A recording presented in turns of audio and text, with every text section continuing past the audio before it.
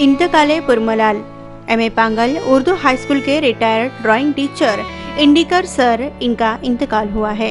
मयत, आज बरोज बुध 8 सितंबर 2021 रात ठीक साढ़े नौ बजे, इनके मकान मधुबन अपार्टमेंट आईटीआई के पीछे से निकलकर मोदी कब्रिस्तान ले जाएगी।